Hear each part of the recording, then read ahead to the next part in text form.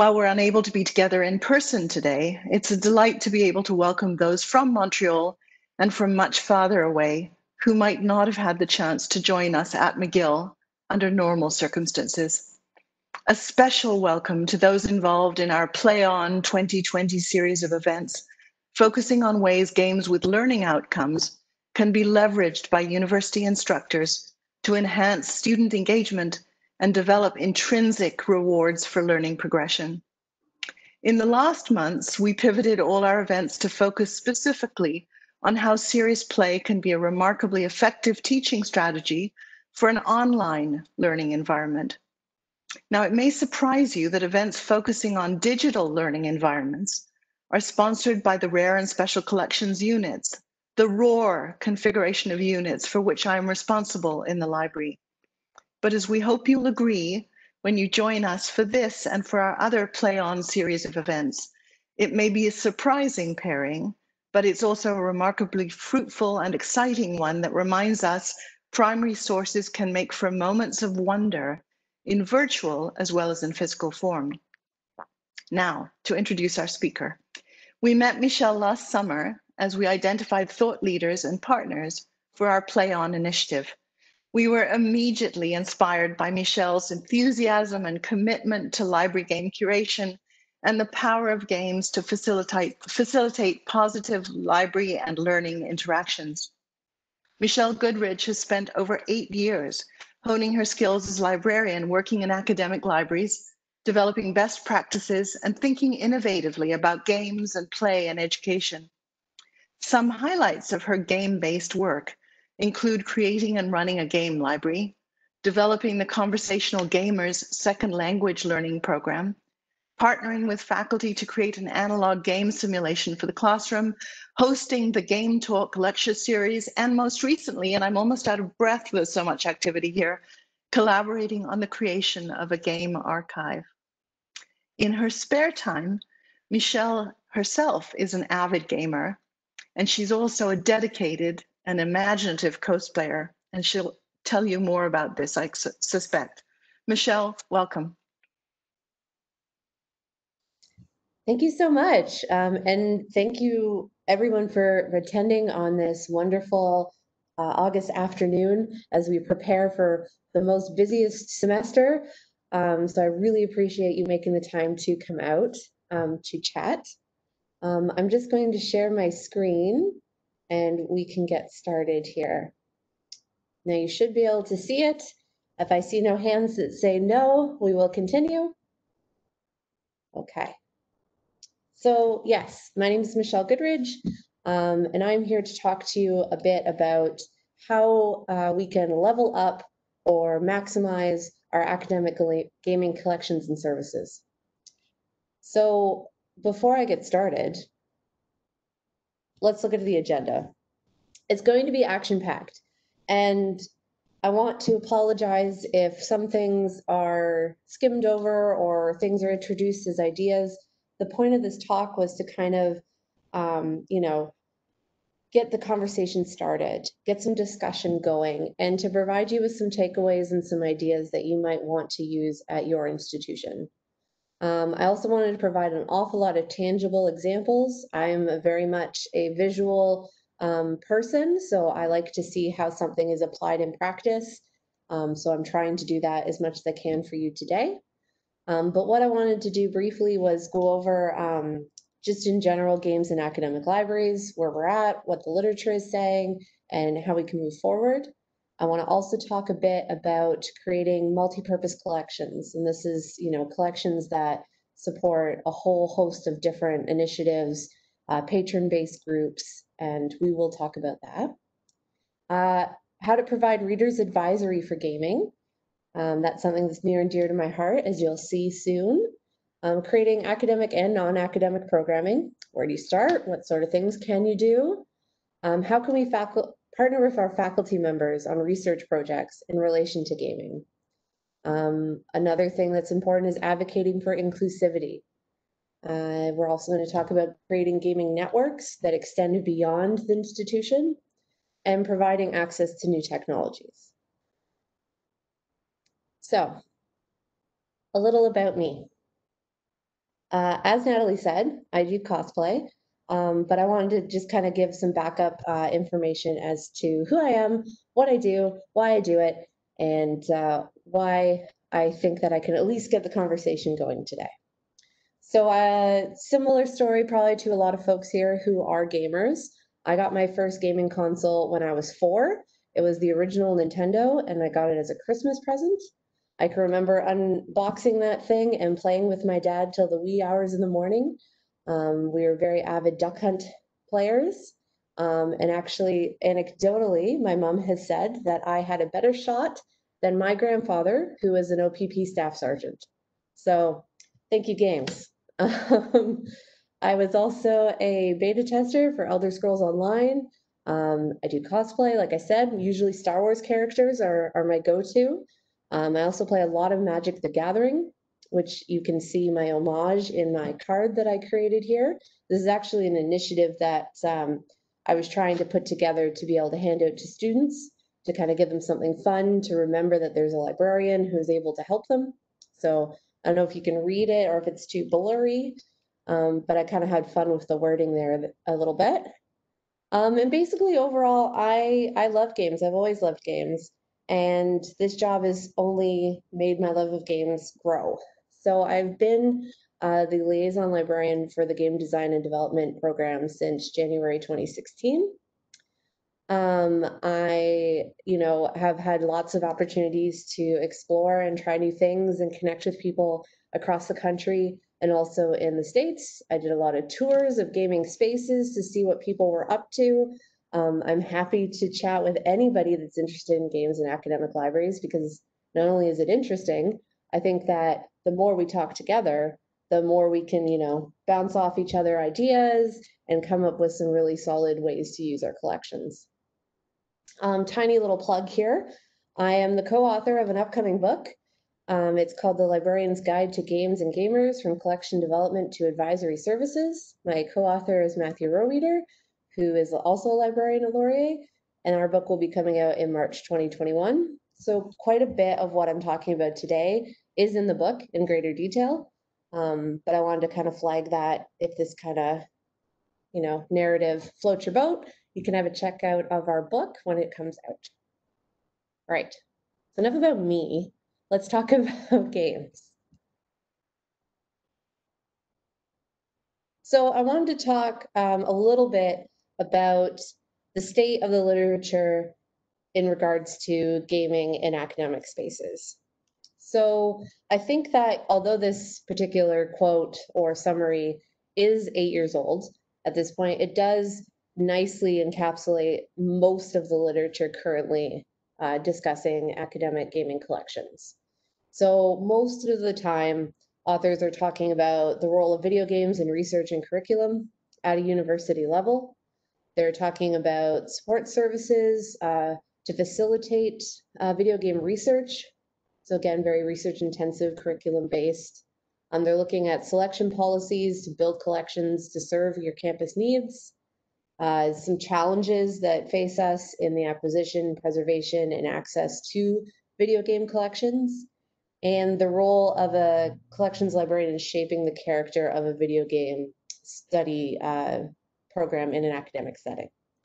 So if you've noticed, I said video game a lot. Um, a lot of the literature is very video game intensive when it comes to academic collections, which is fine. There's definitely lessons learned in other um, bits of gaming that we can take away. Um, but I just wanted to flag that, as well as I think that we really need to start thinking beyond um, collection development and supporting curriculum because there is so much more that we could be doing and so many more areas that we kind of explore within this particular discipline. Um, and I also think that um, the old saying of if you build it, they will come is not necessarily true. And as librarians, we really should start thinking about ways to engage our patrons with the collection as opposed to just supplying it to them, hoping that they're going to use it. None of this should really sound shocking, um, but I just kind of wanted to flag it. There have been some standalone studies that kind of delve into this nature, but I think that this is the area that uh, gaming in academic libraries will grow. So as I said, the literature focuses pretty heavily on video games, but what about board games? What about role play? What about collectible card games, minifigs? There are so many different types of gaming and gamers that only talking about video games is doing them all a bit of a disservice. Um, there have been some studies on, say, the preservation of a circulating board game collection, I believe by the University of North Texas. There has also been some literature uh, coming out on collection development for, for these sorts of collections, but again, it's pretty few and far between, really. Um, and for most literature that you're going to find that's talking about board games or other gaming uh, collections, you're going to be looking at public libraries. And I think that the folks in public libraries are really doing some great work exploring how we can use um, and provide different sorts of gaming collections to our patrons. So I think that there's a lot of information we can pull from what's happening in the public library sector. Um, and I think that in general, they're they're getting a little more focused on practical application and development uh, and management of collections, uh, rather, you know, than than more of like the academic sort of side of things, where we focus heavily on research intensive projects or supporting curriculum.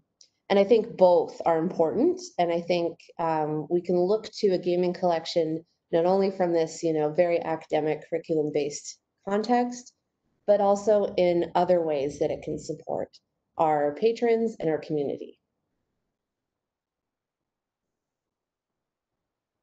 So beyond collection development, these are some of the things that I think we can start to think about uh, when we're wanting to try to level up our gaming collections. So things such as supplying role game, role play game supplies.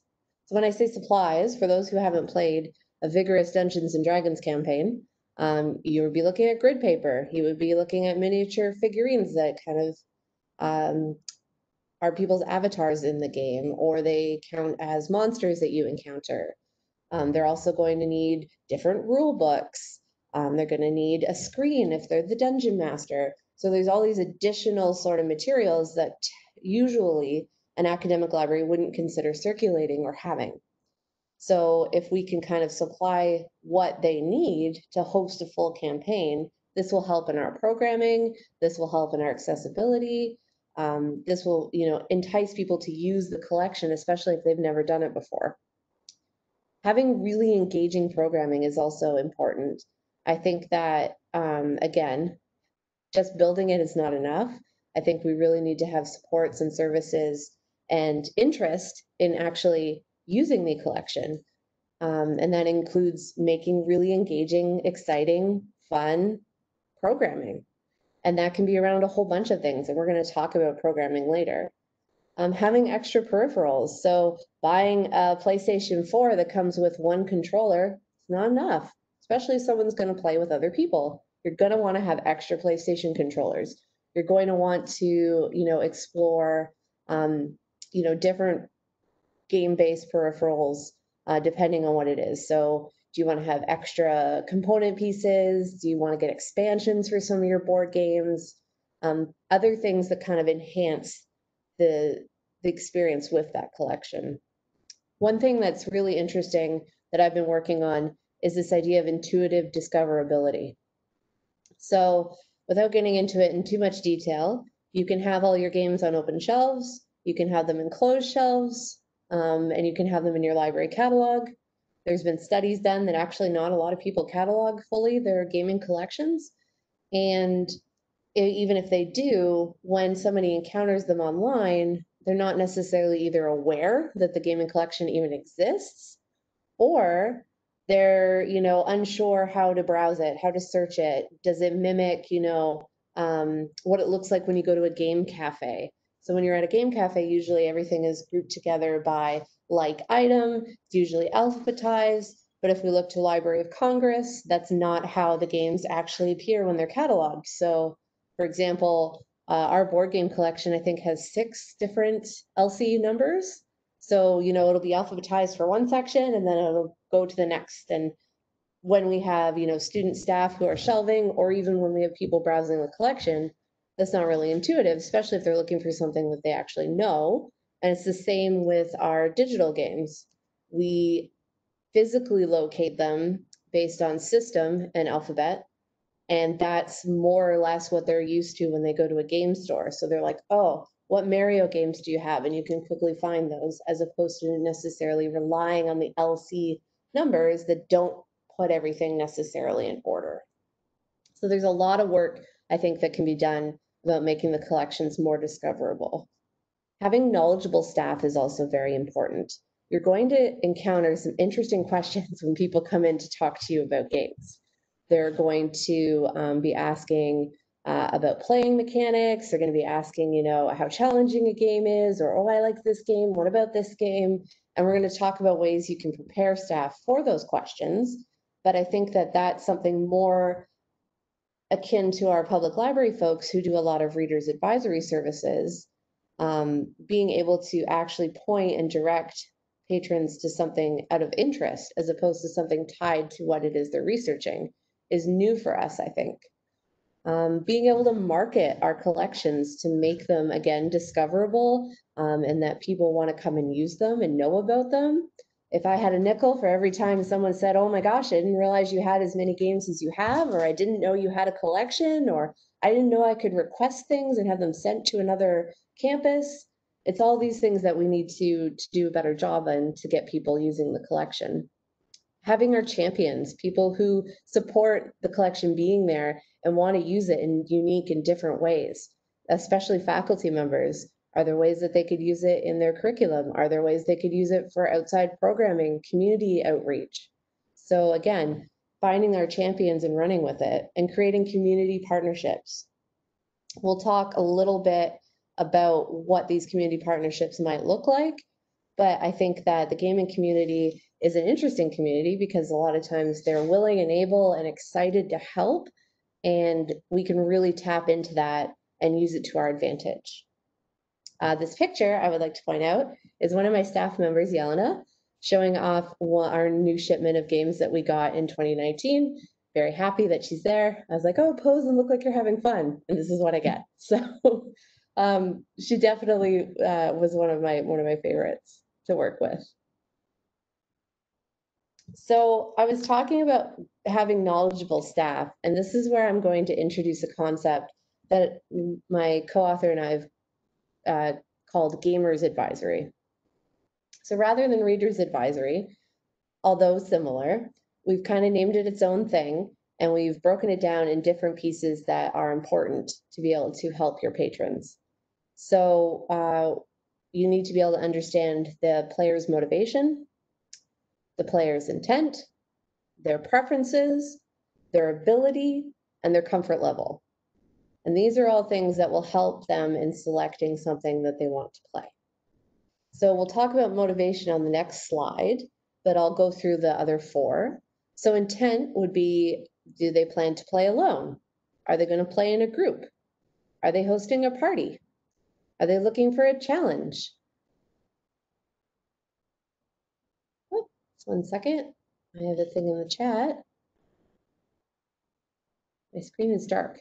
Slides are working well. Oh. Um, well, oh, sorry. I don't know. I've got all the lights on and the windows are open. I'm not really sure what else I can do. Um, sorry about that.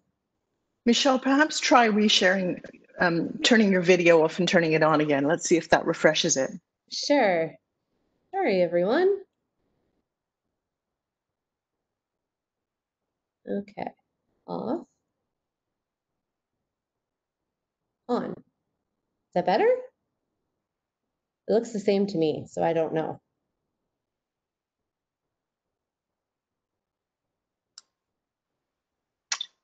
Yeah, I'm not sure quite what's happening, but the slides are, are great. So keep going.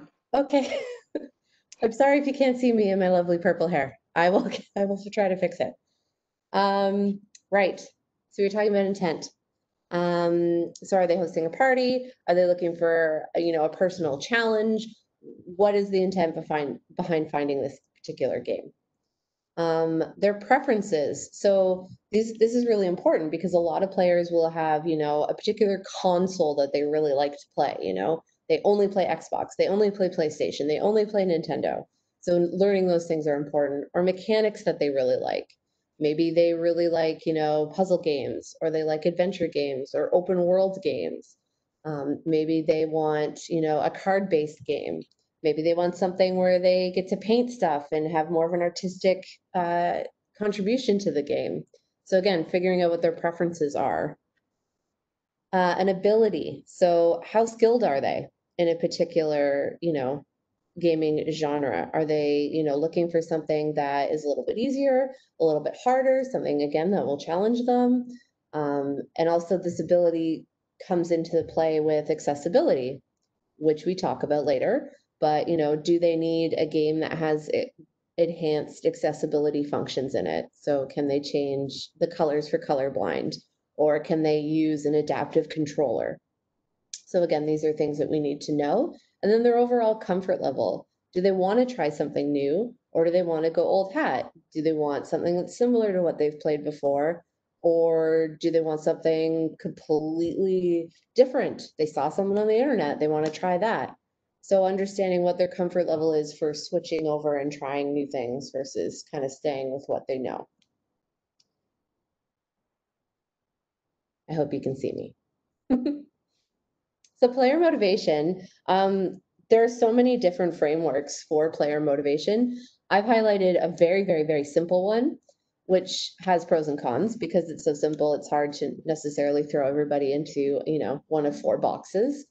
Um, but it is at least good to illustrate the fact that lots of research has gone into understanding video game players' um, motivation, which I think can be applied to other types of games.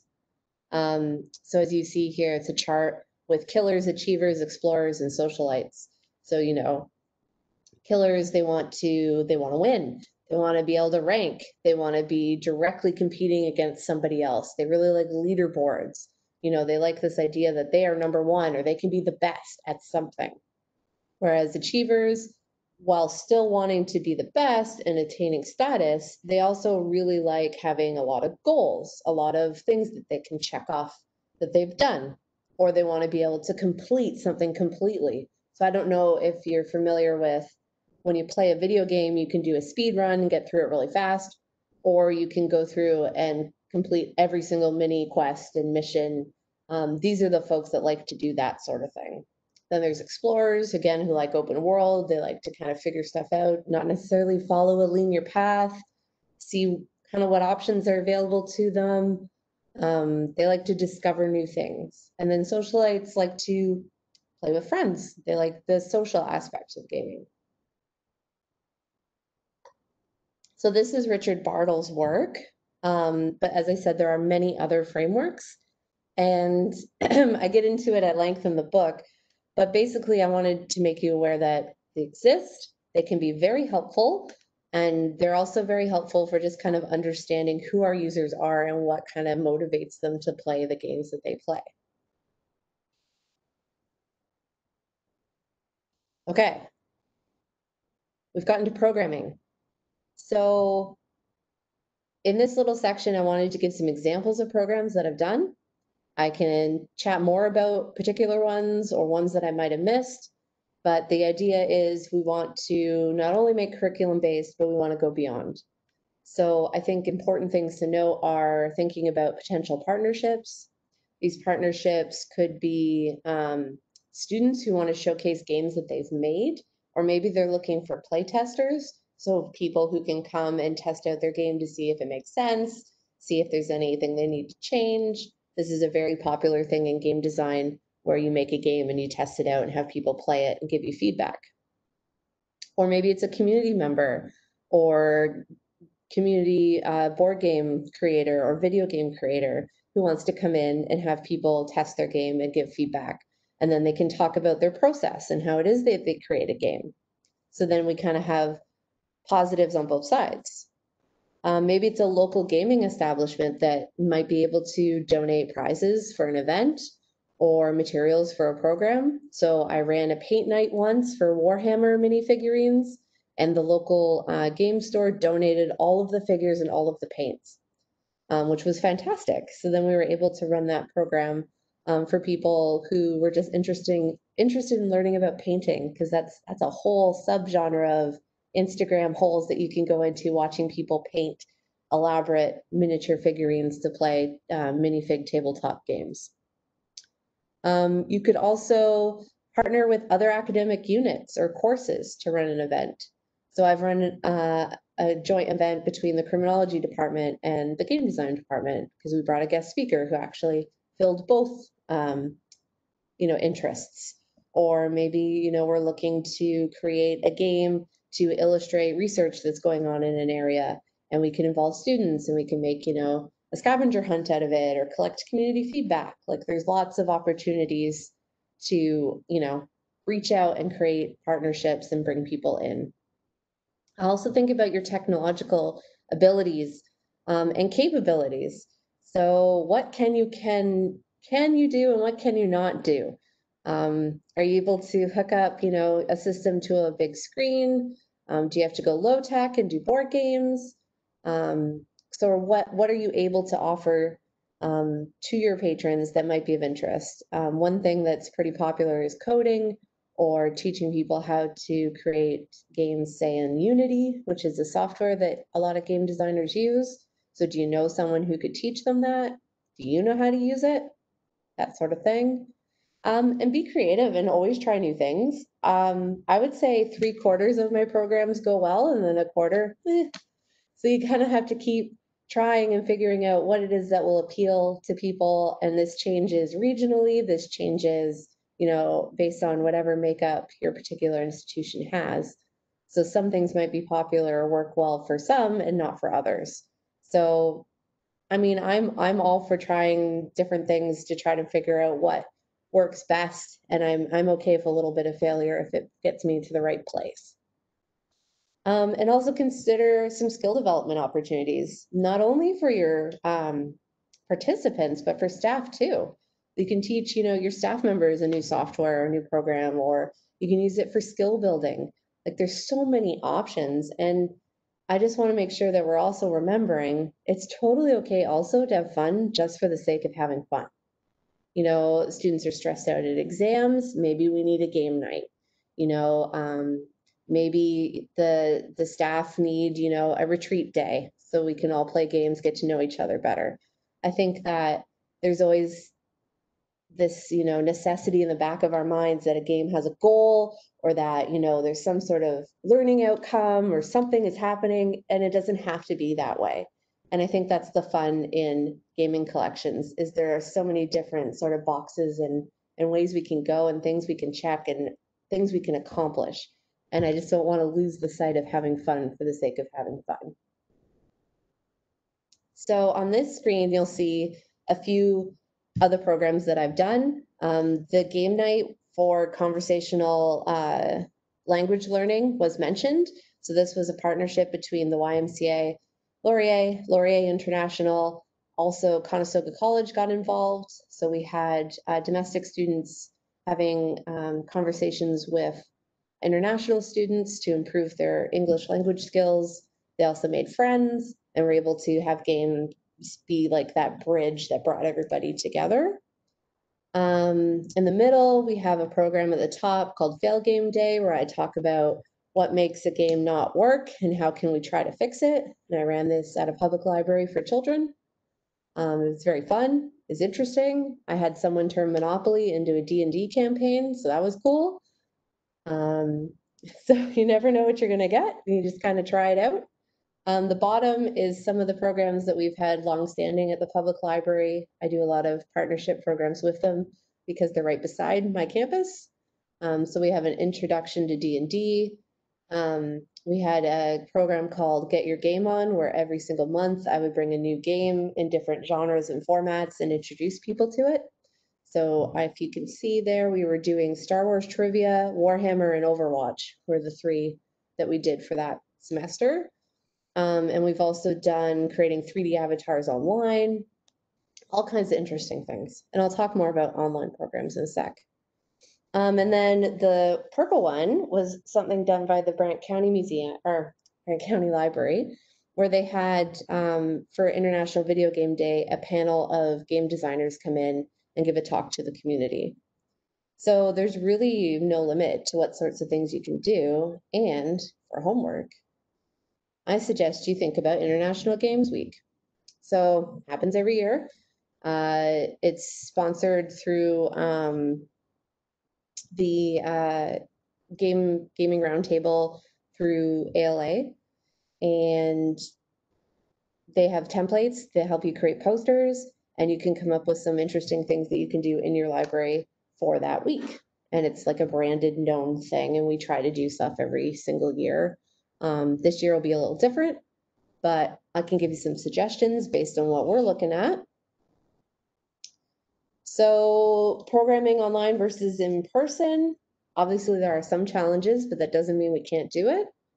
Um, so some examples of things that I've been doing. Um, we have D&D campaigns that run online. Um, there's one that we're working on with a student, uh, like Residence Life, and they're running it for off-campus housing.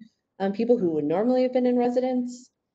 Um, so that's something that you can run if you've got people that are comfortable doing that.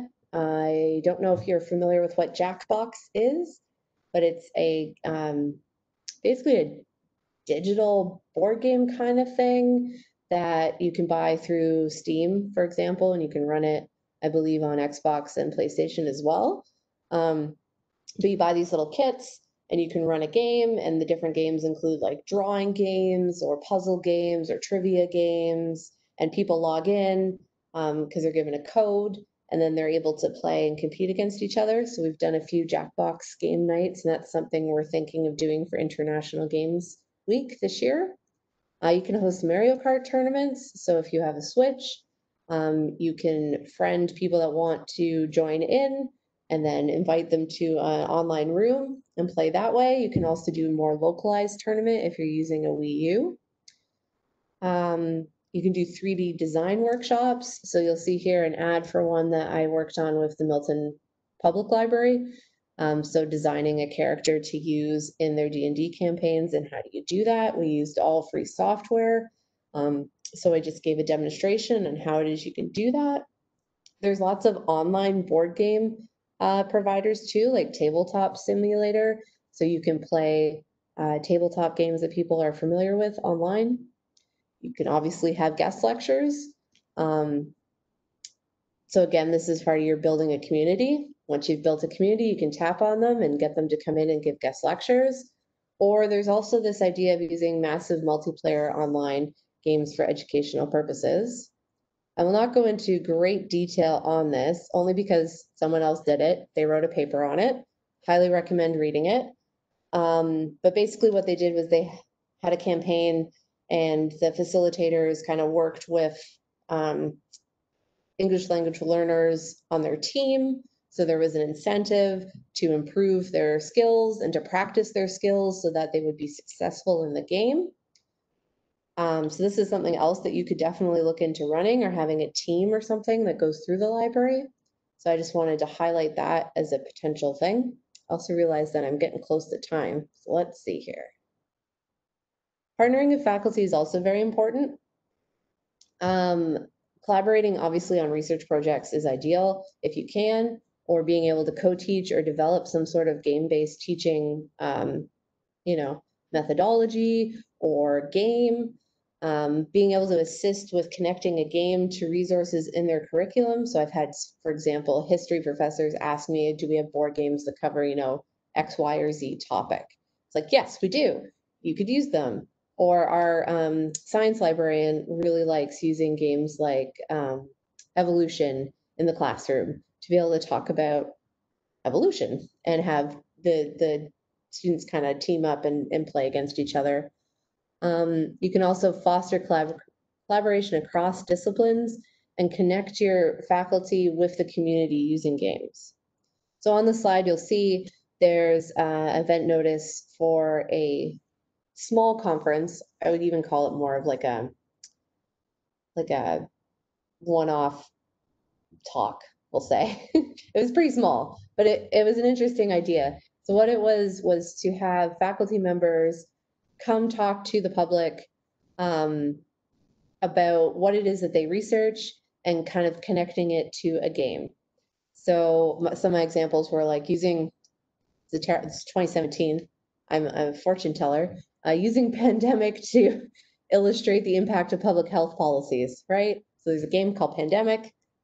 Maybe that's something that we can tie into. So we're disseminating research into the community. We're talking about, you know, games and making it more easily digestible for the community and also having a little bit of fun along the way. So this was a, a really interesting event to run and look after. Also, um, I did some work with a human rights professor on creating a foreign policy uh, in-game simulation. So we could teach students about why countries make decisions that go against human rights and why on earth would they ever do that. So we're trying to, you know, show them they have competing interests, they have things that they're trying to, you know, get reelected, they have, you know, extenuating circumstances that make them uh, maybe make some choices that maybe we wouldn't personally make. And being able to under, try to understand that a little bit better. Um, so we developed the game, we did a bunch of research on it, published a paper, and Andrew to this day says he would have never done it had I not walked into his office and said, hey, let's make a game. So, um, you know, sometimes it just takes that little nudge and, and curiosity and people get interested. Um, quickly here, we'll talk about accessibility in games and how that's important for what it is we do. This is a brief history of accessibility in gaming um, with the takeaway that it's not great and it's not um, done yet. Our work is not done. And I think as, um, you know, library folk, we can definitely uh, champion the rights of making a more accessible and inclusive environment for gaming. Um, some of the ways that we can do that um, would be providing accessible controllers. So interestingly enough, um, I mean, Nintendo tried to do it in the 80s, didn't really take off. But uh, when Xbox released their accessible controller, that was kind of a uh, interesting point because it was the first mass market uh, accessible controller made, um, you know, in the in the 2000s. And while it's been successful, it hasn't completely been a tipping point. So other, you know, people are being really creative and they're making, you know, 3D printed Joy Cons for Nintendo Switch to make it more accessible. But for the most part, it's all, you know, research and interest and, you know, kind of grassroots as to making games more accessible. And there's lots of organizations out there that do this. This is a pet project of mine. I'm happy to talk more about it, but just know that this is an area that we can definitely uh, explore. And then accessible design as well. So the screenshot on the bottom here is a game called Destiny, and it um, allowed for um, some accessible features for deaf players. So changing sounds as a cue in a game to a vibration or text so that they don't lose um, any sort of gameplay that they, you know, it doesn't affect their gameplay experience. And more and more AAA companies are trying to do this, and they include things like colorblind modes, larger subtitles. You can remap buttons to, you know, based on how did you hold a controller or are able to. But it's very inconsistent, and it's definitely something that we can continue to work on, as well as inclusivity, as I said. So creating codes of conduct for events and spaces, being more inviting to our our patrons, you know, um, encouraging inclusive participation with different sort of, um, you know, events like cosplay contests or um, having loanable equipment also to make our our collection more accessible for those who cannot afford to play. So it's one thing to have, you know, a whole catalog of PlayStation 4 games. What if our patrons can't afford to buy a PlayStation 4? By providing equipment as well as software, I think that we can kind of work towards at least making it more accessible from that point of view as well. So I think this is a huge field that I just kind of barely tapped into here that we can explore. Um, making our community networks is super important. Um, I run a game talk series every year where I go out into the community and make friends with people and try to get them to come talk. So they could be developers, co-founders, uh, authors. I've had board game creators, uh, digital game creators. But creating this sort of network not only gives you people to put on your guest list, but it also um, could re- relate into possible donations. Um, maybe there's possible student employment opportunities out of this. Maybe they'll help you with programming. Maybe they'll help you advertise your programming if you're going out into the community. And maybe there's development potential. So I think that this is something also that we can work on to partner more with our communities. New tech trends. Obviously, uh, libraries can provide access to expensive new technology to enhance studies and to enhance um, the experience of our students. So we can encourage them to explore new tech um, and see how it could be applied in their career path. I know the lovely folks at Carleton do a lot of work with the architecture students on using VR to draw um, designs. And I think that that's really cool and it could be somewhere where that field is moving in the future. So why not get ahead of that? Um, and also the new tech is an excellent draw to your event. So every time I pull out the Oculus Rift at an event, people are there, they want to play. So it's also a really good marketing tool for your collection. What other areas could we explore? Well, really, I just barely scratched the surface, I feel. Um, I think it's a growing field with endless possibilities. And I think that we really need to continue to look at our public library friends for inspiration and connect with other gaming and libraries folks. I've listed um, a couple spots here. So there's the ALA Games and Gaming Roundtable, and uh, something that I'd started, the Gaming and Libraries Listserv, just to get people talking, spread more ideas. I think that, you know, again, this this study and this application in academic libraries is still pretty new. And I think the more that we can bring people together of common interest, the better. So with that, I think I'm just at time and we can start the Q&A. Thank you.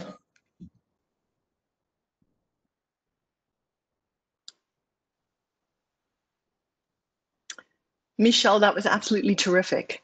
Um, I wonder if you could stop sharing your screen because you Yep. we lost the visuals of you when you started sharing your screen. So maybe Oh, that will change. is. Let me, uh, let me not, one sec. Uh, stop sharing. Sorry, I don't use this. There we are. often. Hello? That works. Hello. No, I'll, I'll, I'll turn it back over to you. Yeah, so does anyone have any questions? See something about online board games and free applications.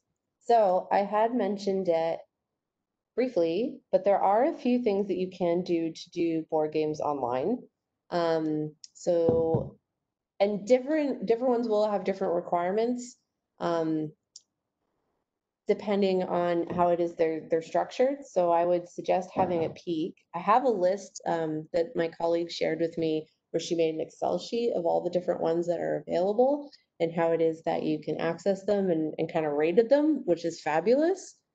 Um, but in the meantime, I'm just seeing here, going back. My apologies. I want to make sure I get their names right. Um, there's Tabletopia and Tabletop Simulator are two of the more common ones. Um, I can probably type that out if that is helpful. That's great. We also circulate um, a video of the event after the fact, and we also provide links or information about any resources that are mentioned. And people, oh, attendees really like that, so we do the follow up. Yeah, no worries. Okay, uh, another question. Um, let's see. Should I read these out? I can read these out. I usually do a modified old board game session in my class to create a literacy game, but how would I do it virtually? So to follow up with that, are you taking an existing old game and kind of everybody mods the game to make it something different for the literacy game? If I'm understanding correctly.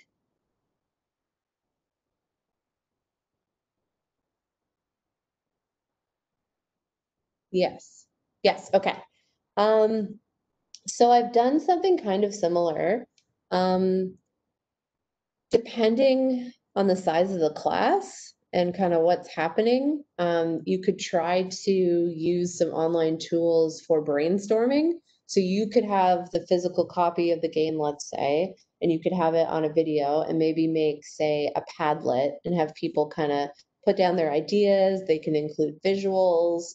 They can kind of brainstorm off of each other on different things that they could change, and then maybe you would change it in front of them for them, or um, kind of working together in that sense. You also could maybe suggest, depending on the game, um, if they're able to get a copy, uh, like say it's Monopoly or something, um, probably go to a thrift store and find an old copy of it, and then they can participate along with you or make their own. And then you could have people in teams that kind of display what it is that they've created.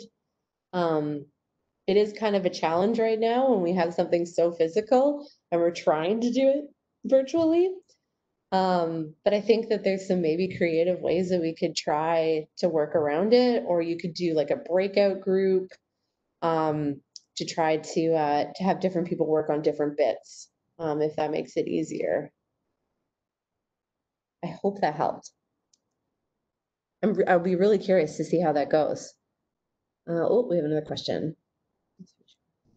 What is the future of women in the gaming industry? The latest Ubisoft scandal has reminded us that the fight for equality is far from over. What are your thoughts on the current state of the industry? Oh boy. um, I have I have some interesting thoughts. Um, I just in general am pretty upset with uh, AAA developers who insist on things like crunch time um, and don't pay their workers fairly and equitably throughout the year. Um, I think that, that that's not fair. And we've had a lot of real conversations where we've had people in the um, digital game world come and talk to our students because these are things that maybe they're not aware of. Um, as I said, crunch is ridiculous. So I for those that aren't aware, you know, you'll have a hard deadline where you have to finish a game and uh, workers will be required to work ridiculous hours, like 16 hour days to be able to try and get it done on time. Um, and they're not necessarily compensated in a way that I would view as fair for working that hard for that short amount of time. Um, so just in general, that's that's not a good thing. Um, I'm not aware of the exact Ubisoft scandal that you're perhaps referring to in Montreal. Um, sexual harassment. Okay. Yes. So um,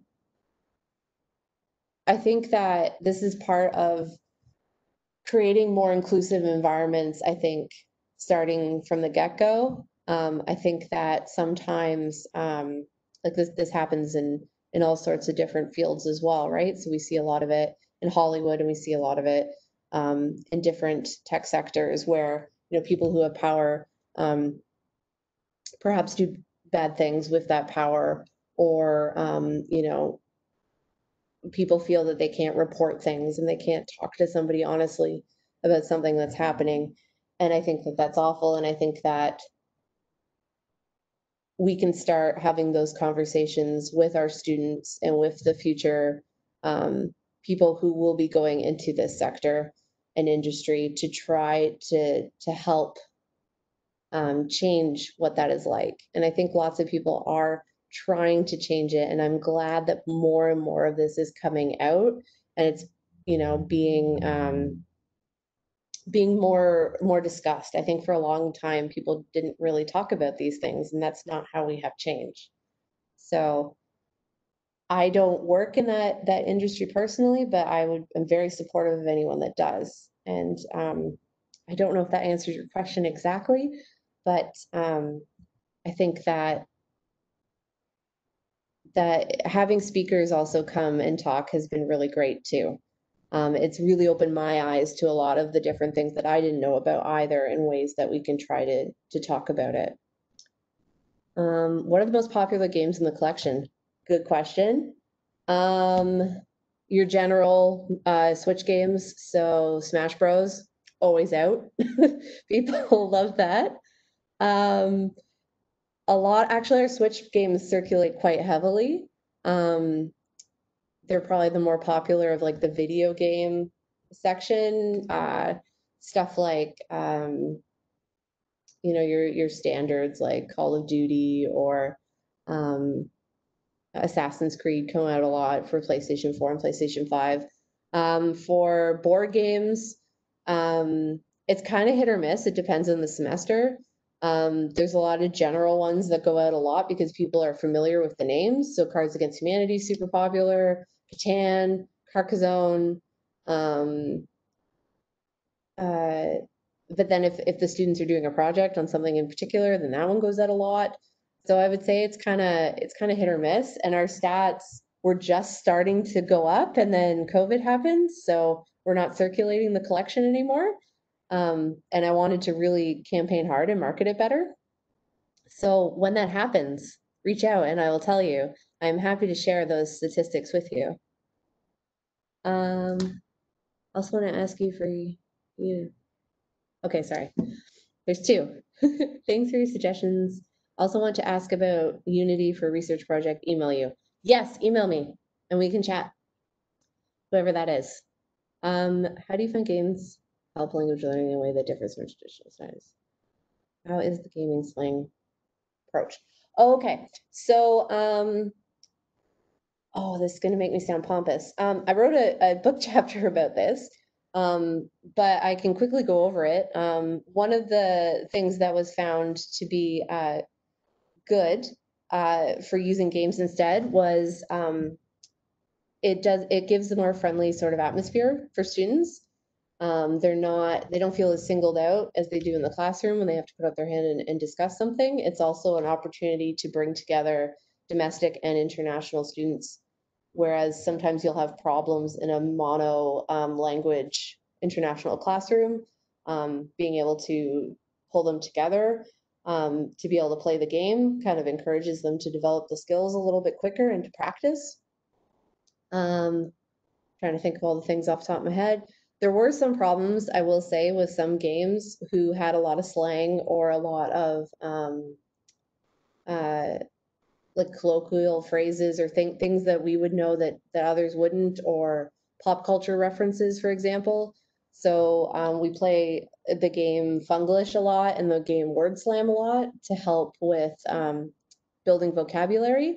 And they both had um, like uh, pop culture references in them. So we just took all those cards out because we kept struggling.